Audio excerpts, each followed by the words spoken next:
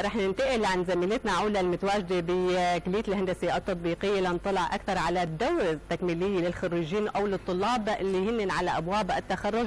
لنطلع أكثر كذلك على آه، تحضيرات الكلية التطبيقية لعام دراسي جديد بالإضافة لتعاون الكادر المهني ضمن هذه الكلية. التفاصيل كلها عندك علا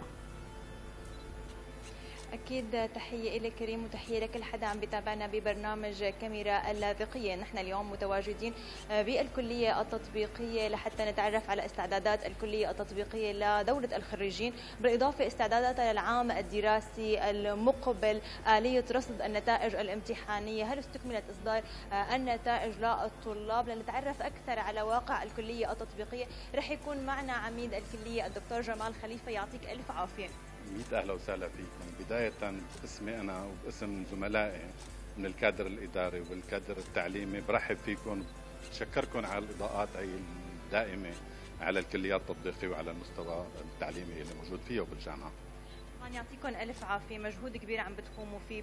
بالرغم من الشوب وضغط الشغل اللي عم بيصير عليكم ولكن حاليا عم تتحضروا لدورة الخريجين. هي الأحد 4 9 بالإضافة للاستعدادات للعام الدراسي المقبل. نحكي عن التحضيرات بالبداية لدورة الخريجين. هلأ بداية من أول ما بلش الامتحان نحن عم نلاحق موضوع المواد وتسليمها ورصدها بشكل دائم.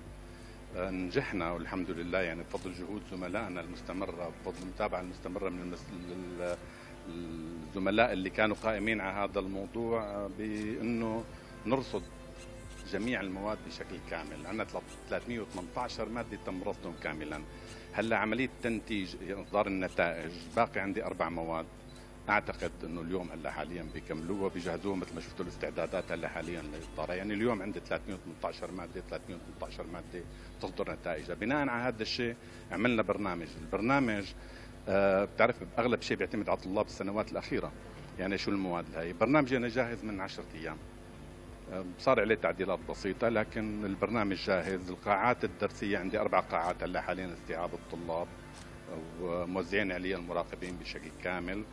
آه، الأسئلة من نحن بنطبعها بشكل مسبق بنغلفها وبنحطها وبنختمها فحتى أسئلة مواد نهار الأحد ونهار الاثنين جاهزة عندي يعني الانطلاق إن شاء الله بشكل سلس وناعم جدا جدا وبدون أي اعتراضات. لك وبالتوفيق للكليه وللطلاب أكيد. هلا فيما يخص العام القادم يعني السنة لأول مرة أظن حتى في تاريخ الكلية برنامج الفصل الأول جاهز. جاهز.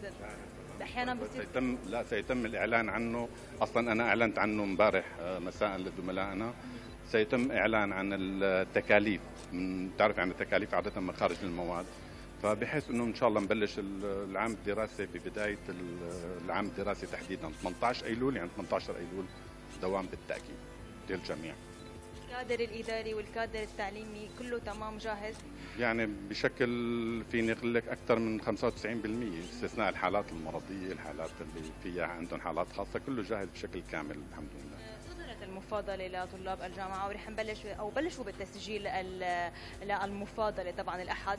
آه، طبعا إذا بدنا نحكي عن التعليم المهني التعليم المهني والثانويات المهنية بترفتكم ب 75% من من عدد الطلاب. نحكي عن أهمية التعليم المهني بالظروف الحالية وأهمية الكلية التطبيقية. طبعا أعطت فرصة كثير مهمة لطلاب الثانوية المهنية. أعتقد أنه من أهم المراسيم التشريعية اللي صدرت ولها أهمية كبيرة على التعليم بشكل عام هو المرسوم 47 لعام 2013 بخصوص تطوير التعليم التقني. تعرف ربط التعليم بالمجتمع آه، التعامل مع المؤسسات آه، المتنوعة الخاصة والعامة آه، التعاون مع أنا قصدي والتنسيق معها بمجال التعليم. هلأ حاليا في خطوة جديدة هي عملية التعليم المنتج يعني النماذج اللي موجودة حاليا. ممكن آه، إذا صار في ضمونا على القرار 25 على القانون 25 ممكن نحن نصير حتى ننتج للسوق آه، نماذج. ممكن نبيع للسوق ممكن نشتغل للسوق. هذا كثير بيطور آه، سوق العمل. الكلية التطبيقية مشاريع. تطبيقيه أصلا الكلية التطبيقية الكلية التطبيقية حاليا تقوم بعملية صيانة في الجامعة كلها في مجال الحواسيب. هي المسؤولة عن الصيانة. هي توجه لنا الكتب نبعث الفريق الصيانة فريق الصيانة بيقوم بعمليات الصيانة بشكل كامل. نحن عملنا السنة الماضية صيانة لأغلب الحواسيب اللي موجودة بالجامعة لتجهيزات التبريد والتكييف حتى لبعض اجهزه الأجهزة الكهربائية اللي موجودة عندنا بالجامعة. دائما نحن عم نعمل لها صيانة. المراوح السنة عملنا لها صيانة بكافة القاعات اللي موجودة. طلابنا هو فريق من الطلاب باشراف بإشراف مدرسين مختصين. يعني عندهم خبرات طويلة بهذا المجال بيرافقون على الصيانة. طالبنا هو اللي بيقوم بالصيانة بشكل كامل.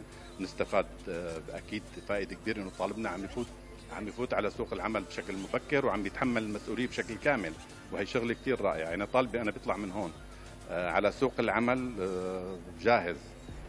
جاهز تماما. طبعا نحن لما فتنا على الكليه التطبيقية شفنا صندوق الشكوى يمكن نادرا ما نشوف هيك بالكليات أو حتى بالدوائر الرسمية. بس نحكي عنه ونعمل إضاءة على صندوق الشكوى اللي نحن شفناه ما بقدر يبين مع زم كاميرا. اولا هذا من متطلبات الجودة في أي مؤسسة من مؤسسات آه، سواء القطاع العام أو القطاع الخاص. يكون عنده للموظف أو للطالب الامكانيه إنه يقدم الشكوى دون ما يخاف دون ما يكون في عنده أي خوف. أنا بفسح للطالب. بشوف إنه بلاحظ أحيانا الطالب بفوت لعندي هو مرعوب. إنه بده يشتكي وما بده يشتكي يعني. فهيك بهالحالة أنا عم بعطيه مجال. بدون ما يحط اسمه شو الحالة اللي شايفها ما أنا مضبوطة يقدم شكوى فيها. ودائما بنتابعها يعني إحنا بنفضل جدول الشكاوى قبل اجتماع مجلس الكلية. ومنتابع كل أموره بشكل دائم. ترسيخ ثقافة الشكوى يمكن خلينا نقول. هي كثير كثير ضرورية، كثير ضروري تشجيع أي موظف يقدم الحالة اللي عنده بشكل مسؤول وبشكل صادق. ألف عافية دكتور جميل جمال خليفة عميد كلية عميد الكلية التطبيقية. يعطيك ألف عافية وشكرا لك. 100 أهلا وسهلا فيكم ومرة ثانية برحب فيكم. كل عام وأنتم بخير. كل عام وأنتم بخير أهلا وسهلا فيكم. طبعا نحن متابعين جولتنا بالكلية التطبيقية لنتعرف أكثر على التحضيرات والاستعدادات مثل ما ذكر الدكتور جمال. طبعا العديد من الخطط لدمج خلينا نقول طلاب الكلية التطبيقية بسوق العمل. في نقطة كثير مهمة ركز عليها الدكتور جمال هي أهمية إنه فرق متخصصة من الكلية التطبيقية عم تعمل صيانة ل خلينا نقول لكل جامعة تشرين. بالفعل نقطة كثير مهمة لحتى دمج آه، الطلاب بسوق العمل وتأهيلهم لسوق العمل. طبعا رح نكون أكثر مع الاستعدادات رح نحكي مع فيها أكثر مع الأستاذ مجد دالي طبعا رئيس الدائرة بالكلية التطبيقية. يعطيك ألف عافية. 100 أهلا وسهلا فيكم بالكلية التطبيقية وطبعا مثل ما وصف لكم الدكتور جمال عميد الكلية التطبيقية أمورنا اللوجستية من من الناحية الإدارية عندنا كافة جاهزة وخصوصا خلال الدورة التكميلية القادمة المقبلة بتاريخ 4 9 أمورنا من حيث القاعات والبرنامج التكميلي جاهز. عندنا من كافة النواحي اللوجستية ونحن مستعدين آه، بطاقم العمل والمراقبين ورؤساء القاعات آه، من أجل الدورة التكميلية وأمور نتائج الرصد آه، منتهية تماما ونحن مستعدون لذلك. التحضيرات واللوجستيات كثير بتعطي أريحية للطلاب، نحكي عن العلاقة مع الطلاب، نحكي كيف عم بيكون الطلاب علاقه علاقة كرئيس دائرة معهم وكأمور لوجستية. عم يعني يكون في مشاركة للطلاب بالاستعدادات. نحن من خلال البرنامج الدورة التكميلية نعطي برنامج مسودة للدورة التكميلية من أجل نفسح مجال لابنائنا الطلبه للأعتراض على المواد التي لا تناسب أوقاتهم وبالتالي آه، نقوم بتعديل البرنامج بناء على طلبات آه، الطلاب عن طريق الاتحاد الوطني لأنه بكل كليه يوجد رئيس اتحاد آه، طلبي عندنا مسؤول عن هالموضوع هذا اللي يوصلنا مشاكل الطلاب أو عن طريق صندوق الشكاوي اللي حكى عنه الدكتور جمال الموجود ضمن آه، حرم الكلية التطبيقية. الإدارية بكل كلية عم بتساعد توصل المشاكل اللي عم يعني نحكي عن دور الهيئة الإدارية بكلية التطبيقيه. هلا عم تنطرح كافة مشاكل الطلاب الموجودة عندنا بمجلس الكلية الذي يعقد كل 15 يوم. آه، بيكون ممثل عن الهيئة بالمجلس الكلية وعم نطرح كافة المشاكل وعم ناخذ القرارات المناسبة التي بيحتاجوها آه، لهدول الطلاب الموجودين عندنا. ما شفت على صفحتكم على الكلية التطبيقية تم تعديل الأوقات بالنسبة لل آه، خلينا نقول للسنوات والاختصاصات اللي ما كان متناسب الوقت وأصدر البرنامج النهائي. طبعا تم إصداره بشكل رسمي ونحن جاهزين مثل ما حكينا عن الموضوع هذا يعطيك ألف عافية الأستاذ مجد دالي رئيس الدائرة بالكلية التطبيقية. بالتوفيق وكل الشكر لحضرتك. أهلا وسهلا فيكم شرفتونا. طبعا مثل ما ذكرنا نحن حاليا متواجدين بغرفة الرصد للنتائج الامتحانية. طبعا أمور الرصد ومتابعة والاسراع بإصدار النتائج. موضوع كثير مهم ونقطة كثير مهمة بالنسبة للطلاب.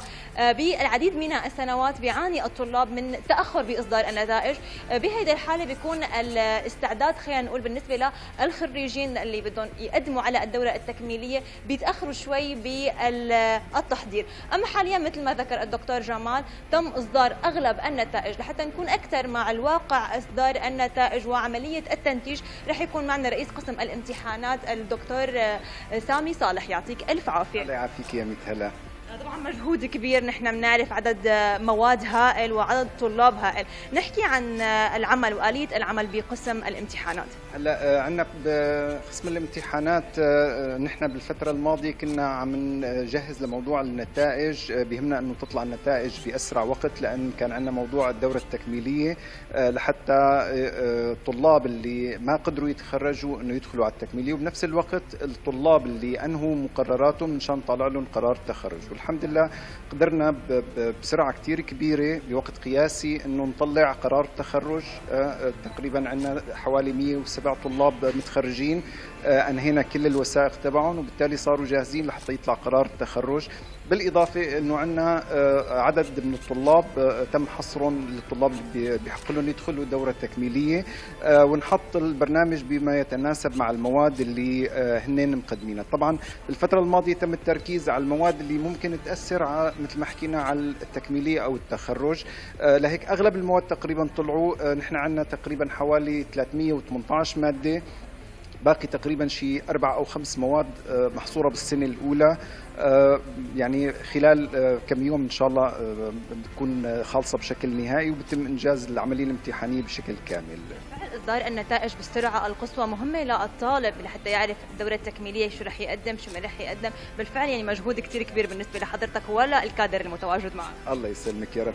آه هو أكيد هو ال group آه group العمل كان كبير وبالفتره الماضية مثل ما حكينا قدموا مجهود كثير كبير سواء مثل ما حكينا عمليات الرصد عمليات الترحيل آه آه حصر عدد الطلاب المتخرجين آه، مشان يعرف كل طالب آه، إنه بيحق له يدخل تكميليه أو لا وش المواد اللي حاملة وبالتالي إصدار البرنامج الامتحاني للتكميلية. التوتر يمكن بيعيشه الطالب ما بين إصدار النتائج وإذا بيحق له يقدم على التكميلية أو لا؟ هيك أنتم هيك خلصتوا من هذا التوتر. إحنا شوي من الموضوع هذا. سامي صالح يعطيك ألف عافية. طبعا كرئيس قسم الامتحانات وحضرتك من الدكاترة هون بكلية التطبيقية وبجامعة تشرين يعطيك ألف عافية. الله يسلمك يا رب. شكرا لك. يعطيك العافية. آه، طبعا نحن رح نتابع جولتنا بقسم الامتحانات لحتى نتعرف شوي على الكادر اللي عم بيقدم بالفعل مجهود كبير لحتى آه، يتم إصدار النتائج وتقديم للتكملة. يعطيك ألف عافية. بدنا ناخذ شوي من وقتك. يعطيكم ألف عافية. يعطيك يا هلا احكي عن آلية العمل. نحن هون بنجي نرصد اختصاص كهرباء.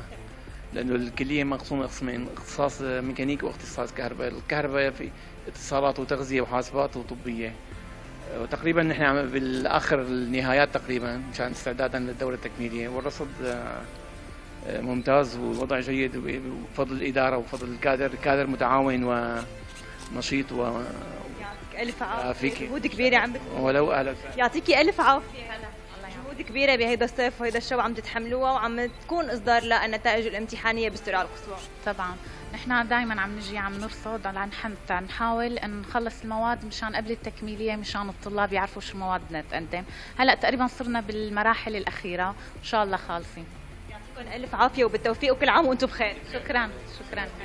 أهلا وسهلا. طبعا زملاء هيدي كانت جولتنا بالكلية التطبيقية. بالفعل جهود مشكورة واستعداد لعام دراسي. بدنا نتمنى التوفيق لكل الطلاب سواء بالكلية التطبيقية أو بجميع الاختصاصات.